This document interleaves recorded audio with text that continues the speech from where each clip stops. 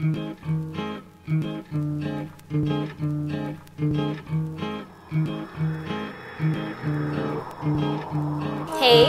um, my name is Mila Neo, and I came when I was 16 years old as an accompanied minor.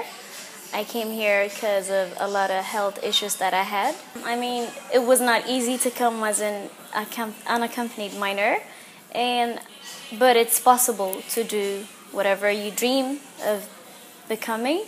And I just want to encourage all the individual refugees that have come recently or have been here for several years to just keep on dreaming because there's no limit in dreaming and just work hard, never give up, and always stand up for your rights. I have experienced a lot of like racism, whatever, in uh, real life, not much in like site bullying, but I've seen a lot of people who went through this. And this all happens because there is no unity uh, between all the immigrants that come from different areas or even the local people.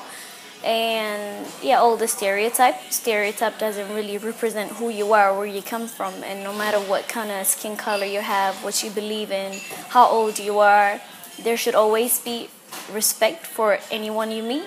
And yeah just treat everyone like you want to be treated. And of course both sides the immigrants and the government itself, the society has to take part in this because together you can always make anything possible and change a lot of things. I have a lot of big dreams.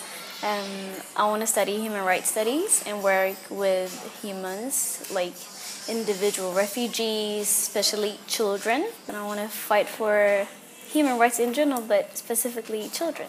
I want to do that uh, all over the world. I want to travel as much as possible and do that in a lot of places, especially the places that there is um, a hard time for children to become whatever they want to be. Happy International Refugees Day.